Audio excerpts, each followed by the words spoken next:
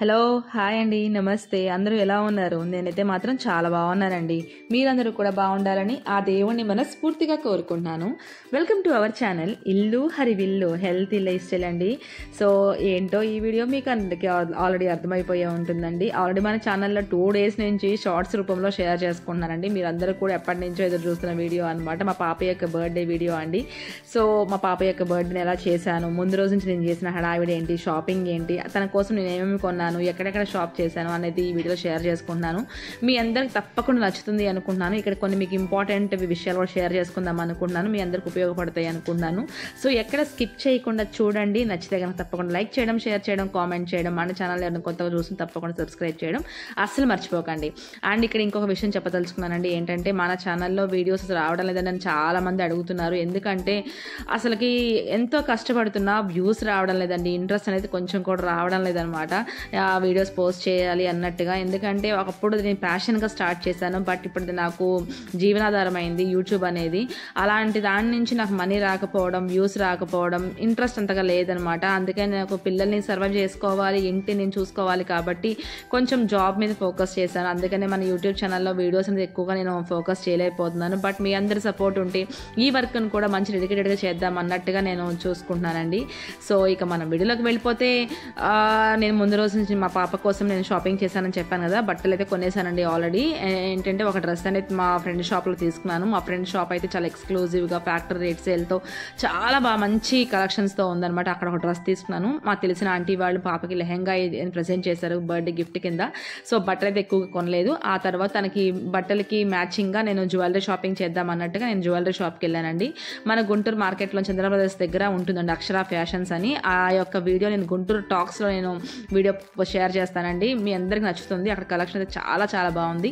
ఆ తర్వాత తనకి ఇష్టమైన చాక్లెట్స్ బిస్కెట్స్ అన్నీ కొన్నాను. మా బాబుకి ఇష్టమైన మాల్పూరి కోవా కొనేసాను అండ్ జిలేబీ తీసుకున్నాను. ఆ తర్వాత బ్రాడీపేట్లో ఉన్న ఏ వన్ కేక్ ఫ్యాక్టరీకి వెళ్ళానండి. అబ్బాస్ కే బేకర్ సెంటర్ కదా. అక్కడికి వెళ్ళాను. అక్కడికి వెళ్ళి మా పాపకి ఇష్టమైన కేక్ కూడా ఆర్డర్ చేసేసి ఇంకా ఇంటికి వచ్చేసానమాట సో ఇవన్నీ వీడియోస్ నేను షేర్ నేను గుంటూరు టాక్స్ ఛానల్లో షేర్ చేసుకుంటానండి. ఎందుకంటే ఇక్కడ ప్రతి ఒక్కటి ఎంతెంత రేట్లో ఉంది ఎంత కాస్ట్లో ఉంది అండ్ ఐ మీన్ ఎంత క్వాలిటీతో ఉంది.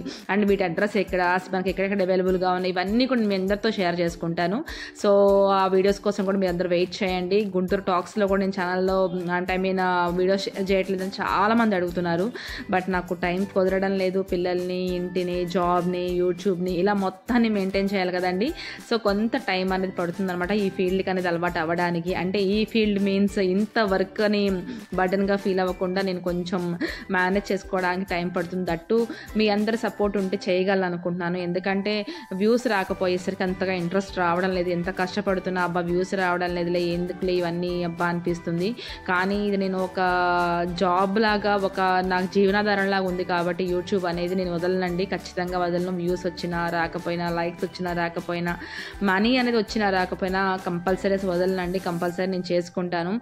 అంటే మనం ప్రయత్నిస్తూనే ఉంటే ఎప్పటికైనా సరే సక్సెస్ అనేది వస్తుంది. అది ఫస్ట్ నేను నమ్మేదాన్ని బట్ మధ్యలో కొంచెం తోక అనేది వచ్చింది. మీన్స్ డబ్బులు రావటం సబ్స్క్రైబర్స్ పెరగడం ఇవన్నీ తోక వచ్చేసరికి నాకు కొంచెం ఎక్కువైనట్టుంది. అందుకని మళ్ళీ తోక కట్ చేశాడు దేవుడు. సో అందుకని మళ్ళీ నేను కష్టపడాలన్నమాట. అలానేం కాదులేండి. మన ఛానల్ హైక్లో ఉన్నప్పుడు నేను వీడియోస్ పోస్ట్ చేయకపోవడం పెద్ద మైనస్ అయిపోయింది. అందుకే ఛానల్ మళ్ళీ రేటింగ్ పడిపోయింది అనమాట దాన్ని మళ్ళీ లేపుకోవాలి ఇప్పుడు. సో వ్యూస్ రావడం లేదు కదా. కాబట్టి నాకు మనీ రావడం లేదు. సో జాబ్ మీదే పిల్లల్ని బతికించుకోవాలి పిల్లల్ని చూసుకోవాలి ఇంటిని చూసుకోవాలి కాబట్టి దాని మీద ఫోకస్ ఎక్కువ చేశాను. సో ఇంకా ఇంకా ఈ విషయాలు వదిలేస్తే ఇక మన వీడియోలోకి వెళ్ళిపోయినాక ఇంకా షాపింగ్ మొత్తం చేసుకొని వచ్చేసరికి సెవెన్ థర్టీ ఎయిట్ అయిపోయింది అనమాట ఇంకా ఎయిట్ ఓ క్లాక్ వచ్చినాక పాపకి యాక్చువల్గా జలుబు చేసింది. అండ్ నాకు కూడా హెల్త్ అనేది అంతగా బాగాలేదు కదా. అన్నట్టుగా పాప ఏముందని మమ్మీ ఎక్కువ స్వీట్స్ ఏం చేయకు నేను తినను కదా. నువ్వు జస్ట్ నీకు ఈజీగా సింపుల్గా ఉండేది నా ఫేవరెట్ అయిన బ్రెడ్ కస్టర్డ్ చేయి మమ్మీ అన్నది. సో ఈ రెసిపీ మీకు ఎవరికైనా తెలిస్తే కనుక ఓకే తెలియని వాళ్ళకి చెప్తున్నానండి. జస్ట్ మనం పాలల్లో కస్టర్డ్ పౌడర్ వేసుకొని కస్టర్డ్ని ఫ్రూట్ కస్టర్డ్ని తయారు చేసుకోవాలి. ఆ తర్వాత నేను దీంట్లో డ్రై ఫ్రూట్ పౌడర్ కూడా మిక్స్ చేశానండి. ఇది ఏంటంటే మా ఇంట్లో మా పిల్లలకి కంపల్సరీ రోజు ఇస్తానమాట పాలల్లో కానీ ఏదో జ్యూసెస్లో కానీ. ఎప్పుడైనా సరే మా ఇంట్లో ఉంటుందన్నమాట. నేను పన్నెండు రకాల డ్రై ఫ్రూట్స్ వేసి దీంట్లో చేస్తాను. మీన్స్ జీడిపప్పు బాదం పప్పు పిస్తా ఎండు ఖర్జూరం అంజీరు వాల్నట్స్ పుచ్చగింజలు గుమ్మడి గింజలు సన్ఫ్లవర్ సీడ్స్ ఇలా రకరకాల అవిసె గింజలు నువ్వులు పల్లీలు ఇలా అన్నీ వేసుకొని చక్కగా వాటిని వేపుకొని డ్రై ఫ్రూట్ పౌడర్గా నేను చేసుకొని స్టోర్ చేసుకుంటాను. ఈసారి ఆ రెసిపీని కూడా మీ అందరితో షేర్ చేసుకుంటానండి. ఆ యొక్క పౌడర్ కూడా two table tablespoons add చేశాను. అండ్ డ్రై ఫ్రూట్స్ అనేది కట్ చేసుకుని ముందుగానే పెట్టేసుకున్నానండి. ఇది చాలా చాలా సింపుల్గా అయిపోతుంది. అండ్ ఎవరైనా గెస్ట్లు కానీ ఎవరైనా పిల్లలు అప్పటికప్పుడు ఇన్స్టెంట్గా ఏమైనా కొంచెం చిల్డ్గా తినాలి కొంచెం మంచిగా టేస్టీగా తినాలనుకున్న వాళ్ళకి ఈ యొక్క రెసిపీ అనేది బెస్ట్ ఆప్షన్గా చెప్తాను నేనైతే మాత్రం. ఎందుకంటే నా ఫేవరెట్ అనమాట ఇది. చాలా తొందరగా అయిపోతుంది చాలా ఈజీగా ఉంటుంది చాలా టేస్టీగా ఉంటుంది. సో ఇంకా కస్టర్డ్ మనం తయారు చేసి పక్కన పెట్టేసుకున్నాక డ్రై ఫ్రూట్స్ కట్ చేసి పక్కన పెట్టేసుకున్నాక బ్రెడ్స్ని మీకు ఇష్టమైన షేప్ షేప్స్లో కట్ చేసుకోవచ్చు. ట్రయాంగిల్ షేపా ఇంకే షేప్ అయినా కట్ చేసుకోవచ్చు అండి ఇలా కట్ చేసుకున్నాక వేడి వేడి కస్టర్డ్ని చక్కగా ఆ బ్రెడ్స్ మీద అలా చక్కగా పోసేసుకొని ఇక డ్రై ఫ్రూట్స్తో గార్నిష్ చేసుకొని ఇంకా ఫ్రిడ్జ్లో ఒక టూ త్రీ అవర్స్ పెట్టేసేసినాక ఇంకా సర్వ్ చేసేసుకోవడమేనండి చాలా చాలా టేస్టీగా ఉంటుంది కొత్తగా ఉంటుంది చాలా మైల్డ్ టేస్ట్తో మైల్డ్ స్వీట్తో ఆ ఫ్లేవర్తో సూపర్ ఉంటుందండి. మీరు ఎప్పుడైనా ట్రై చేశారా? ట్రై చేస్తే ఎవరో కొంచెం కామెంట్ సెక్షన్ చెప్పండి. అండ్ ఆ సమ్మర్లో అయితే ఇది బెస్ట్ స్వీట్గా నేను తింటానమాట సమ్మర్లో ప్రతి టూ డేస్ త్రీ డేస్ చేసుకొని తింటాను. ఇది చిల్డ్గా తింటే మాత్రం సూపర్గా ఉంటుంది. లేకపోయినా వేడి వేడిగా కూడా తినొచ్చు. అది ఎవరి ఇష్టం వాళ్ళది ఉంటుంది. బట్ నేనైతే మాత్రం చిల్డ్గా తింటాను. అందుకే ముందు రోజు నైట్ ప్రిపేర్ చేసి పెడదాం అన్నట్టుగా చేసి పక్కన పెట్టానండి. అది కంప్లీట్గా ఆరిని కూడా ఆరనిలేదు నేనేం చేశాను తర్వాత చెప్తాను మీకు నేను. ఇలా నేను ఆ స్వీట్ చేసుకుంటూ ఉండంటే మా బా మా బాబు వచ్చి చక్కగా ఏమంటున్నా ఏమంట ఏం చేస్తున్నాడు? ఇలా మా పాప యొక్క బర్త్డేకి డెకరేట్ చేస్తున్నాడండి. మా పాప ఏమో తనకి రేపు మార్నింగ్ డ్రెస్సెస్కి సంబంధించిన ఐటమ్స్ గాజులు ఇయర్ రింగ్స్ ఇవన్నీ ఉంటాయి కదా ఆడవాళ్ళంటే ఇంకా అవన్నీ సెట్ చేసుకుంటుందన్నమాట. చక్కగా మా బాబు బర్త్డేకి ఇంత హడావిడి అనిపించలేదండి. యాక్చువల్గా ఒక డ్రెస్ కొనుక్కొచ్చా వాచ్ కొనుక్కొచ్చా కేక్ కొనుక్కొచ్చా అంతే. మా పాప బర్త్డేకి మాత్రం తిరిగిన దాన్ని తిరిగినట్టే ఉన్నాను. చాక్లెట్స్ అదంటది ఇదంటది మళ్ళీ షాపింగ్ జ్యువెలరీ చూసుకోవాలి. అమ్మ బాబాయ్ మా వాళ్ళకి కాదండి బాబు. అసలు నాకు తిక్క లేచిపోయింది అనమాట ఆ రోజు నిజంగా చాలా టైర్డ్ అయిపోయాను. ఇక్కడ మీకు ఒకటి చెప్తానని చెప్పాను కదా.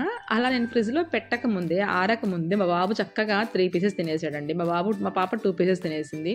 ఇక మిగతా త్రీ పీసెస్ నేను తిందామని ప్లేట్లో పెట్టుకున్నాను అనమాట అలా నేను చేసిన కస్టర్డ్ బ్రెడ్ కస్టర్డ్ని మేము బర్త్డే రోజే కాకుండా ముందు రోజే తినేసాము. ఇంక ఇలా కాదు నెక్స్ట్ ఇంకో ప్రాసెస్ స్టార్ట్ చేద్దాంలే అన్నట్టుగా నెయ్యి వేసి అటు ఇటు డ్రై రోస్ట్ చేసేసి నేను ఇంకా మళ్ళీ చేస్తున్నాను. మా పాప కోసం మరి మార్నింగ్కి స్వీట్ పెట్టాలి కదా అన్నట్టుగా మళ్ళీ మార్నింగ్ ఎవరి పనుల్లో వాళ్ళు బిజీగా ఉంటాము.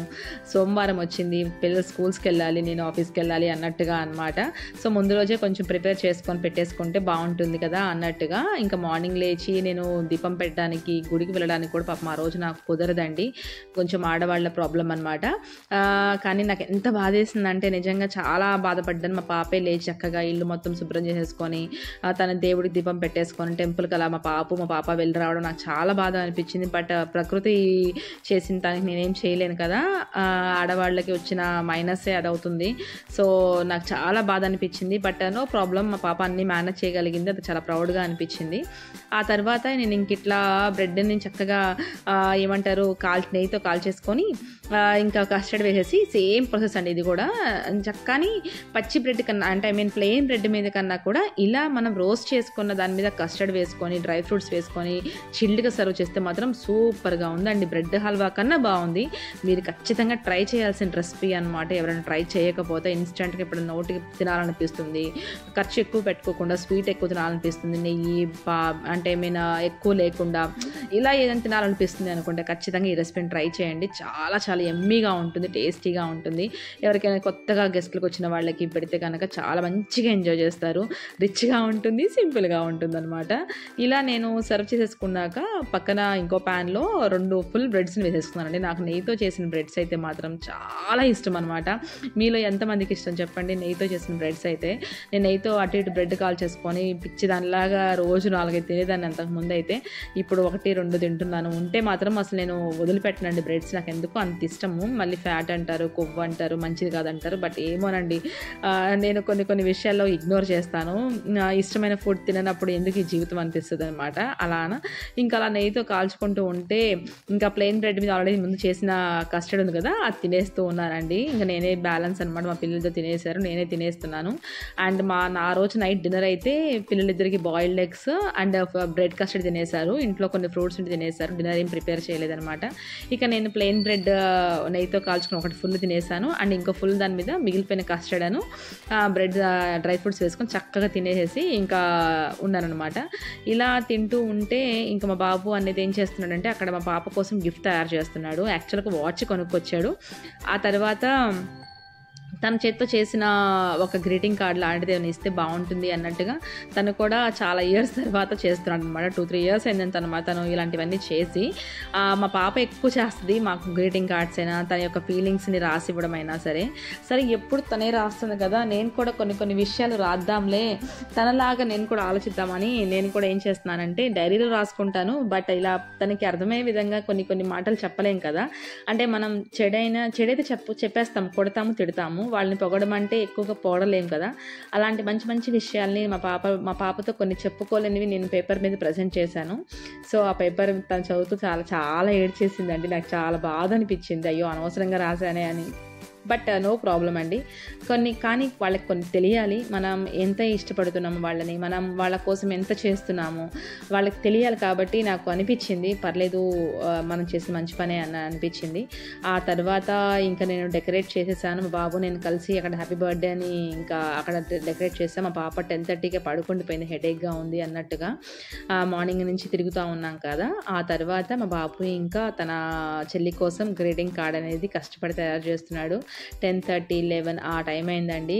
ఇంకా ఇంట్లో పనులన్నీ కంప్లీట్ చేసేసుకొని గిన్నెలు తోమేసుకొని ఇల్లు చిమ్మేసుకొని అన్నట్టుగా ఇంకా నేను కంప్లీట్గా వర్క్స్ అన్నీ చేసేసుకుంటూ కొన్ని సాంగ్స్ వింటూ అలా మా పిల్లలతో ముచ్చట్లు చెప్పుకుంటూ నేను ఇంకా ఇలా వీడియోస్ తీసుకుంటూ వాటిని నేను ఇంకా డెకరేట్ చేసుకుంటున్నాను. ఇంకా ట్వెల్వ్ అవ్వడానికి హాఫ్ అన్ అవర్ ఉంది అన్నట్టు అప్పుడు నేను ఇంకా ఏం చేస్తున్నానంటే తన యొక్క టేబుల్ని డెకరేట్ చేస్తాను కేక్ కట్ చేసే టేబుల్ని.